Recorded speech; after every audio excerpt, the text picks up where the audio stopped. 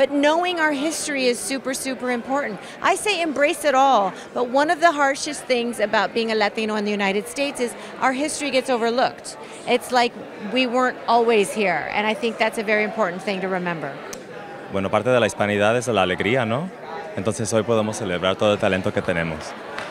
Eh, somos una familia y el talento hispano es parte de la cultura, es parte de la cultura americana. There's so many people like us in the United States that we don't always connect. And I think that's part of what Latinos need to do in the United States, right? Is to connect and realize our stories are so similar and empower each other through those storytelling, sharing stories, como eh, around the kitchen table, sobremesa, ¿no?